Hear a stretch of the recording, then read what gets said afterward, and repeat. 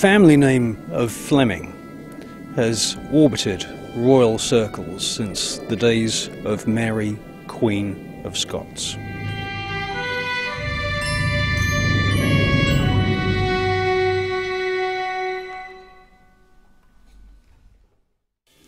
From a very early age, Ian Fleming was well connected with the royal political elite. Before he joined the Navy, he actually worked at a merchant bank.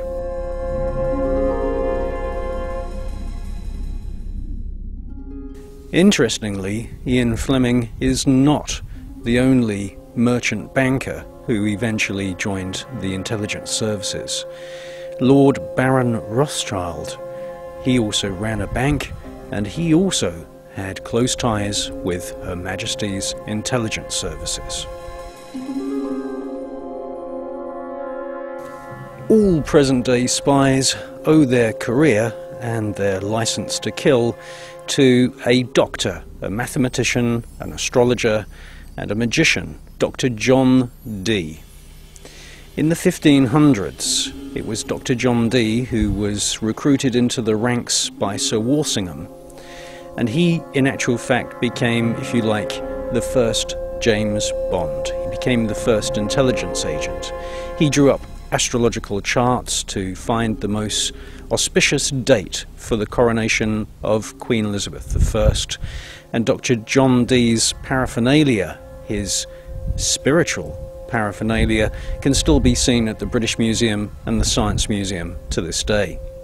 Why was Dr. John Dee recruited as a spy in the 1500s? Well, anybody that has actually used a Ouija board will realize that some spirits know all things past, present, and future.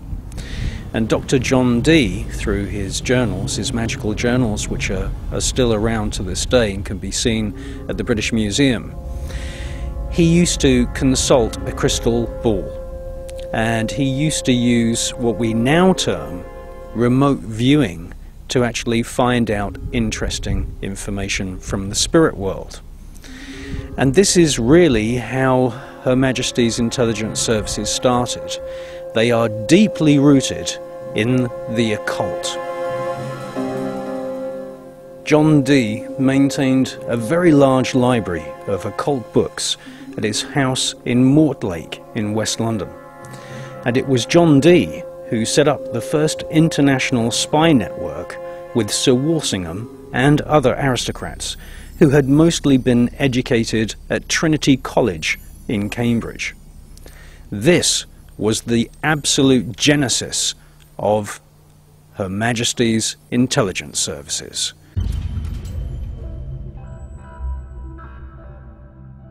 The so-called all-seeing eye logo has been used traditionally by royal families in Britain and Russia.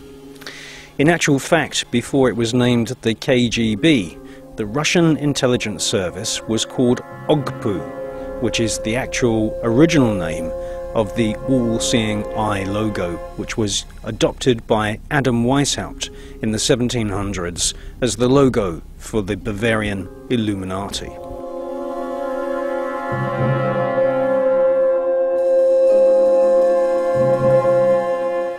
It was the crystal ball, the tool used by Romany gypsies and spiritualists throughout history which was the main tool used by Dr. John Dee and his aristocratic espionage friends. They divined information from the spirit world.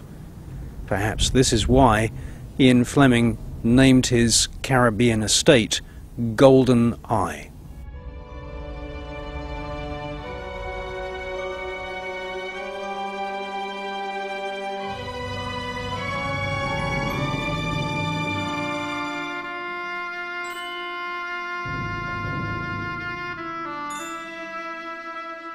Ian Fleming studied the works of Dr. John Dee and many other occultists.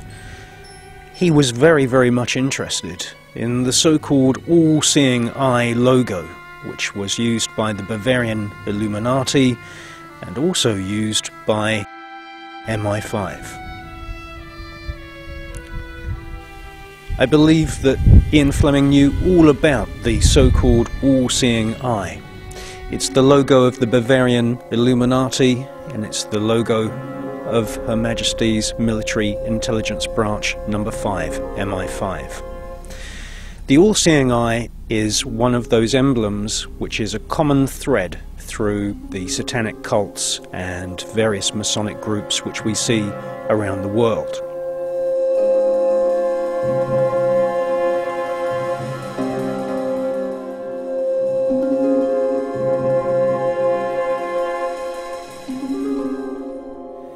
It was at his private estate in the Caribbean, called Goldeneye, that Ian Fleming wrote many of his most famous spy novels, drawing information from his own journals, his own diaries, and the diaries of his fellow spies.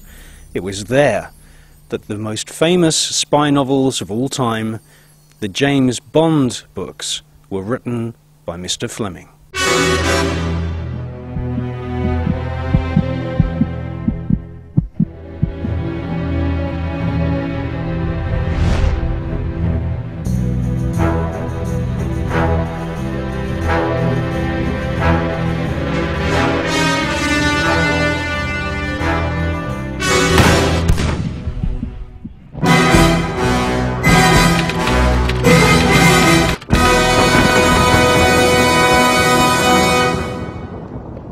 The MI in MI5 and MI6 stands for military intelligence, which some people claim is a contradiction in terms.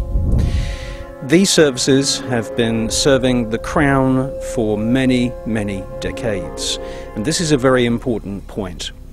When you join the ranks of Her Majesty's intelligence services, you are serving the Crown. You are not serving the people. The history of the intelligence services, which we can glean from various memoirs and books which have been published by former members, shows very clearly that the intelligence services are spying on me and you. They are services which break into people's homes, steal documents, do the kinds of things which uh, is not really cricket for the police to get involved with and their primary concern is looking at people who could possibly challenge the authority of the royal political elite.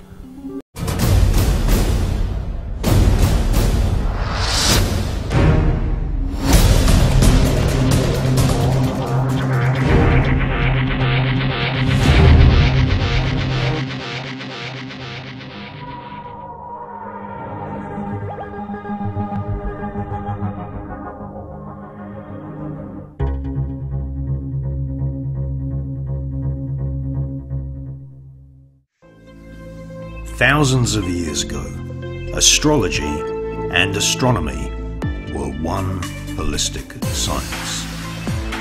The International School of Esoteric Sciences is the only college offering university grade lectures which bring astronomy and astrology back in harmony.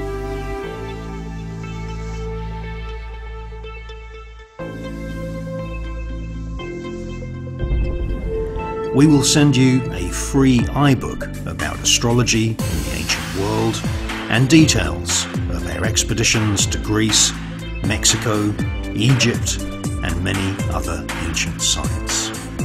If you want to learn astrology, if you want to learn astronomy, learn from the best. isiscollege.com